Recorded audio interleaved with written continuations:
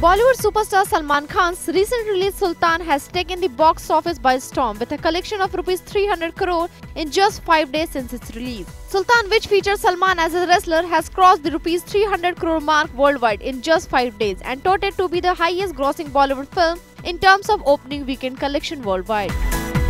The Yash Raj film production has done a gross box office collection of rupees 252.5 crore in India and 92 crore abroad.